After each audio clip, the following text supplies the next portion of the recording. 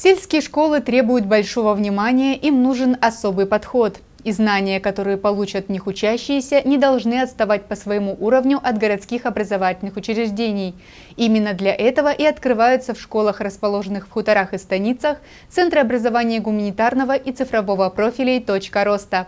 В 11 школе хутора Маевского ребята с удовольствием занимаются в кабинете дополнительных общеобразовательных программ «Точка роста». Кабинет открыт благодаря национальному проекту образования. Созданы хорошие условия для современных методов обучения по программам естественно-научной и технологической направленностей.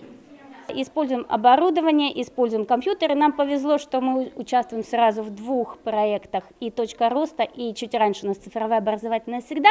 Поэтому у нас хватает компьютеров. Несомненно, это работает на качество у ребят, то есть когда мы проводили раньше, у нас не хватало материалов, не хватало оборудования, и ребятам все давалось на видеоуроках. Сейчас ребята могут пощупать, попробовать, и, соответственно, им становится более интереснее живой интерес, то есть когда они это могут на себе ощутить, это совершенно другое, когда они просто посмотрели видеоурок.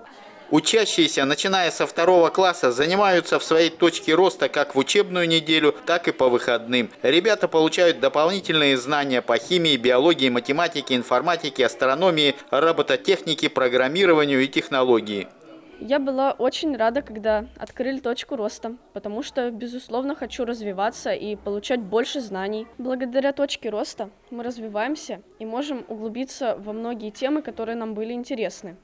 Можем проводить опыты и программировать. Заниматься тем, что нам нравится и в 14-й школе хутора Прикубанского удалось интенсифицировать процесс преподавания целого ряда предметов. Комплект нового оборудования позволил ребятам и педагогам поднять уровень образования. Не просто на уроках, а на переменах они приходят и просят, можно ли нам посмотреть, можно ли нам изучить. У детей появились новые вопросы. Если раньше ребенок приходил и говорил, а зачем мне это нужно, то сегодня он задается вопросом, а что будет если? А я загляну в микромиры, что я там увижу? Очень отрадно видеть, что дети превосходят э, своего учителя, когда они очень быстро, вникая в новые программы, совершенно им незнакомые, свободно подключают всю систему, свободно настраивают микроскопы, свободно овладевают э, этим оборудованием быстрее. В точке роста школьники самостоятельно создают проекты, проявляют живой интерес к процессу исследования и обучения.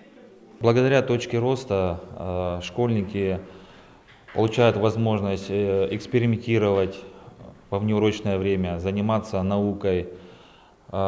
Детям очень нравится. В нашей школе работает несколько кружков по направлениям биология, физика, химия. Мы получили новейшее оборудование – Э, детям очень нравится и с удовольствием ходят на данные кружки.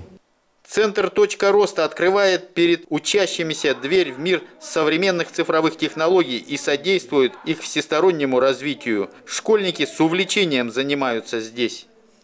Мы рады, то, что у нас открылся такой центр. Уроки стали интереснее и приятнее. Спасибо, что у нас есть такой центр.